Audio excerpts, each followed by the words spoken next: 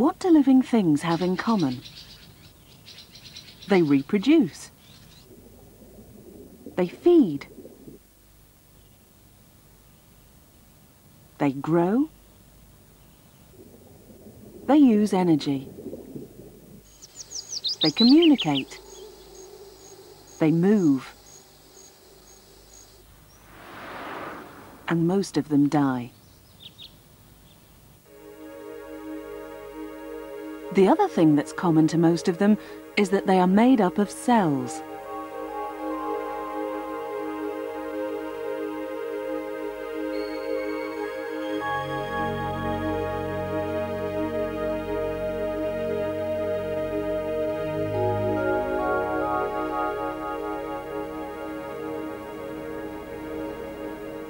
Are studied with very powerful microscopes, which can magnify cells up to 500,000 times.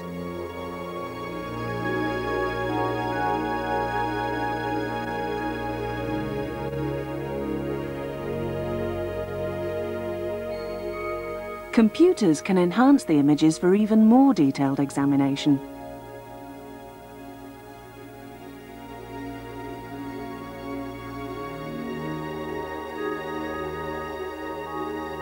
Fluorescent dyes can be injected directly into individual cells to mark specific parts.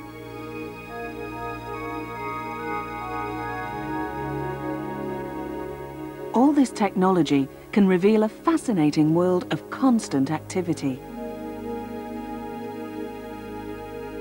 For while whole organisms are going about their business, feeding, reproducing, growing and so on, most cells are doing exactly the same things. Watch this. It's an amoeba, a single cell.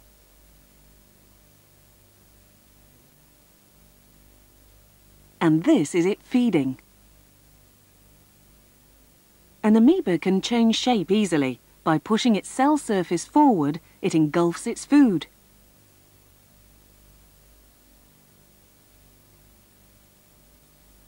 That's fine if you're a single-celled organism. But if you're just one cell, say in the middle of a massive skin tissue, how do you feed? We need to know more about the structure of a cell before we can find out the answer to that question. This represents a typical animal cell. You might call it an average cell.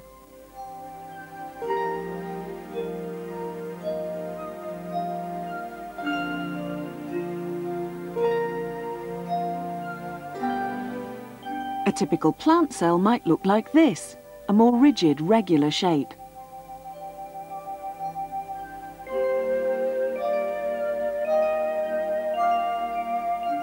But bear in mind that cells come in many shapes and sizes. They don't all look like these.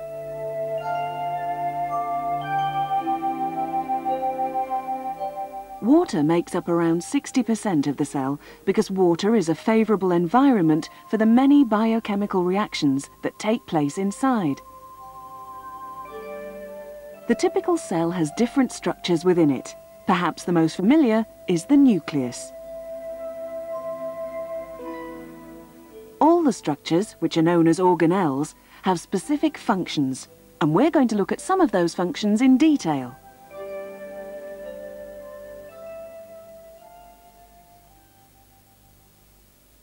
The amoeba gets its food from outside the cell.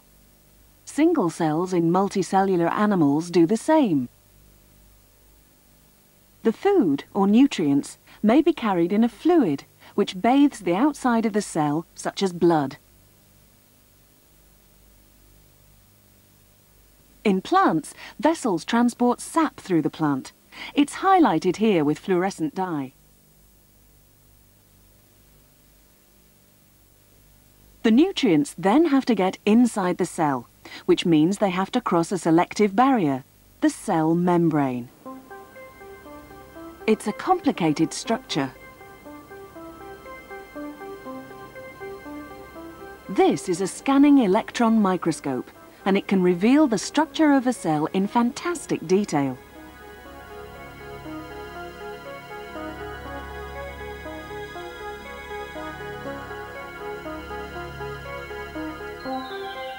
This is the outer surface of a cell.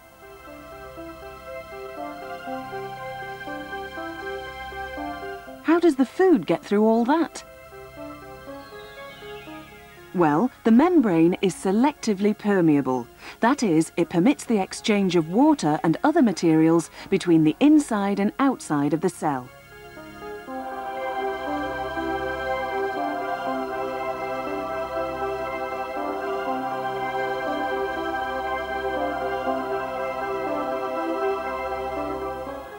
Nutrients are taken into the cytoplasm, which is a jelly-like substance on the inside. Here's part of a plant cell, with the cytoplasm moving just inside the cell boundary. It's known as cytoplasmic streaming. It helps nutrients to be circulated, but there's another system for that too.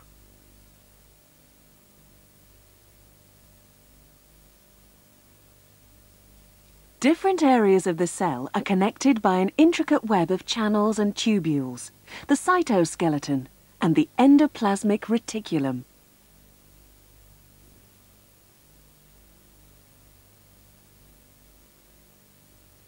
But the final destination for most of the food is an organelle that is often called the powerhouse of the cell, the mitochondrion.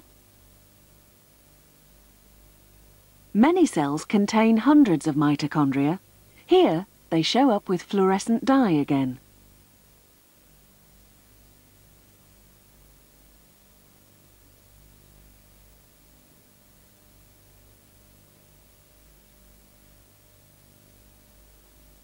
To see the structure, we have to look at the mitochondria with an electron microscope, which can look at a slice through the parts of a cell. The pictures, by the way, are always in black and white.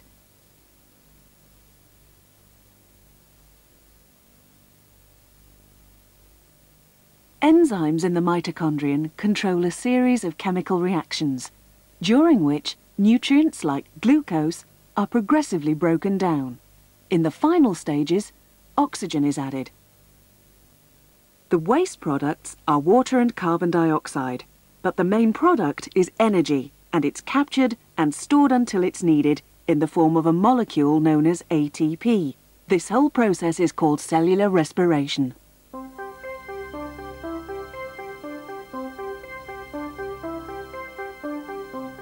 Plants have organelles to do with energy that animals don't have, and it's something that makes them unique, because plants can capture energy directly from the sun.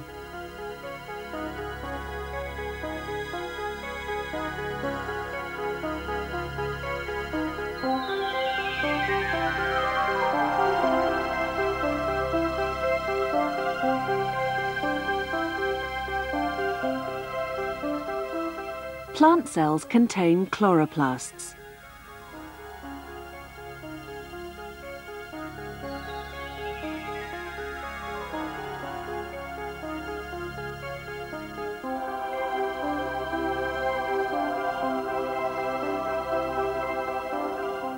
The chloroplasts contain a green pigment called chlorophyll, which absorbs the light energy.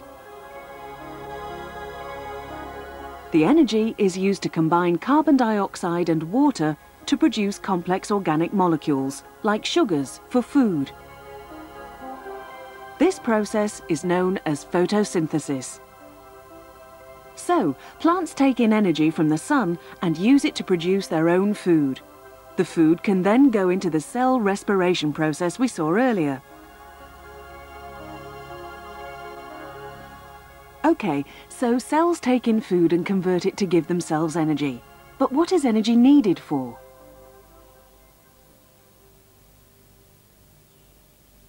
Well, all living things move. And believe it or not, many cells do the same.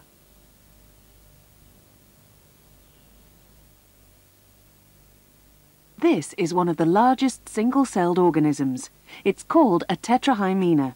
It has tiny cilia on its outer surface, which it moves to catch food. So it has to use energy to catch energy.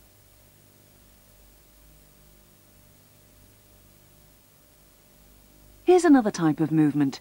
This is a trypanosome, and it moves by wriggling its body backwards and forwards.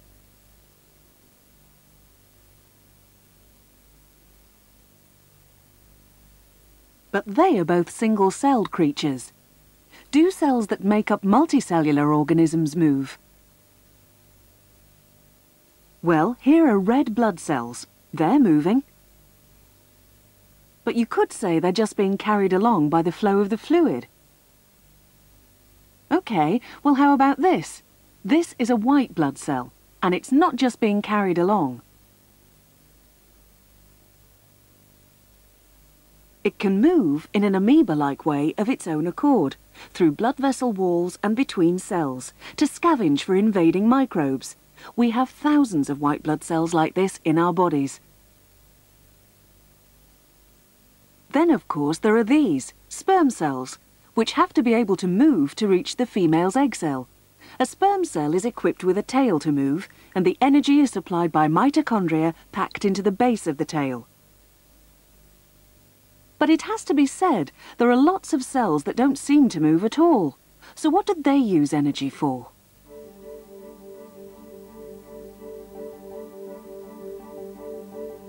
Well, an obvious use is this. Energy is needed for growth.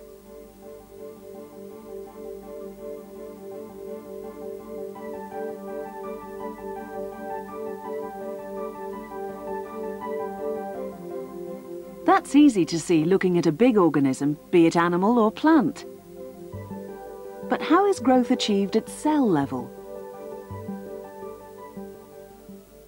Well, in fact, individual cells don't really grow much themselves. They don't just get bigger and bigger. But they do have to copy themselves so that the whole organism can grow and function.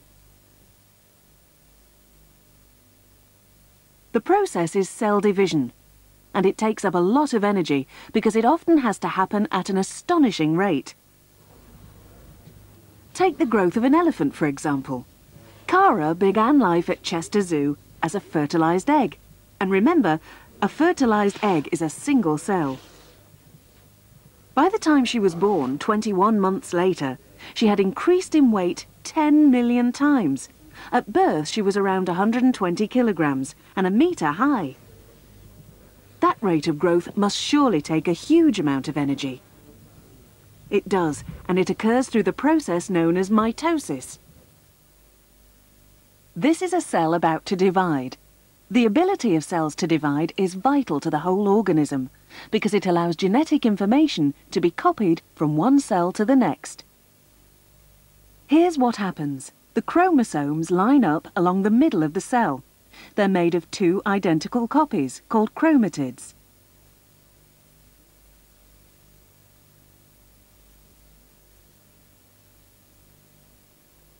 The chromatids move to opposite ends.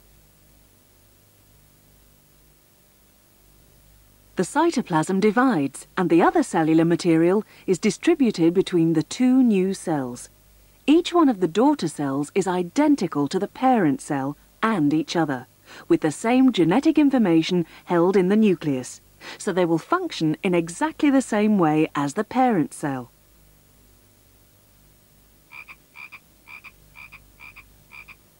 It's spring, and here's the next stage. Frog spawn.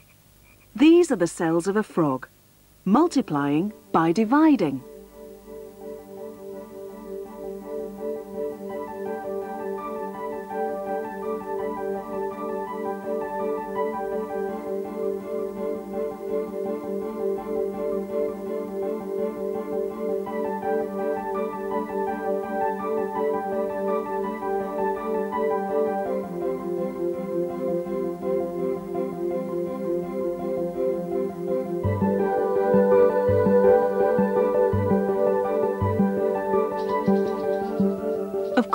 Growth doesn't only occur when new animals and plants are being formed. It's a continuous process. Take the lining of your gut, for example. The cells in there have to take a continual battering from the food you eat. Not surprisingly, they don't last long and so have to be replaced by perfect and identical copies at the rate of 17 billion cells a day. In fact, the gut lining you have today is completely different to the one you had a week ago. So, cells grow by way of cell division. and that requires a lot of energy. But producing new cells also requires something else. It requires raw materials, one of the most important of which is protein. Producing protein is a major function of cells throughout their life, and it's controlled from within the nucleus.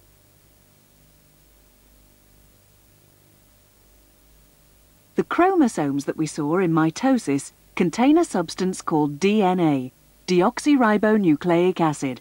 It can be represented like this, a double helix of molecules linked together.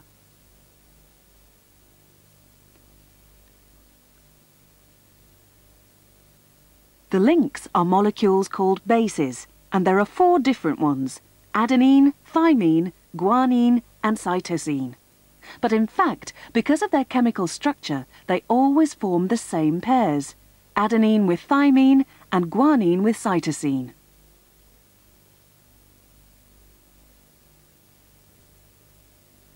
The order of the base pairs on the DNA forms a code, and it's that code which controls the manufacture of protein.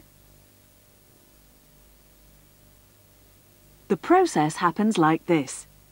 Part of the double helix of DNA separates. Clusters of molecules called nucleotides are brought together to make a copy of a section of the DNA strand, with one small change. On the copy, the thymine is replaced by another base, uracil. The new strand of molecules formed is known as messenger RNA, ribonucleic acid, and it's sent out from the nucleus into the cytoplasm. There, the messenger RNA joins up with another type of organelle, a ribosome. They form a sort of production line to put together groups of amino acids. Note that the order of the bases determines which amino acid takes its place along the line. The amino acids link up. Different amino acids create different proteins. And there are thousands of different proteins, used for making everything from hair to muscles, leaves to flowers. By controlling protein synthesis in this way, DNA controls the whole life of the cell. So, as the basic units of life, cells hold the key to all life's processes. As we said at the beginning, the body is made up of cells. If anything goes wrong with the body, it can be traced back to cell level. So understanding the way cells work and the ways they can go wrong will help us to overcome illness and disease. Take this beastie we saw earlier, the trypanosome. It's a parasite that can cause a serious illness called sleeping sickness in people. It's passed on by the tsetse fly, once the parasite has got into the human bloodstream, it feeds on nutrients in the blood, moves around the body and will multiply rapidly by cell division. Scientists are studying the life cycle of the trypanosome.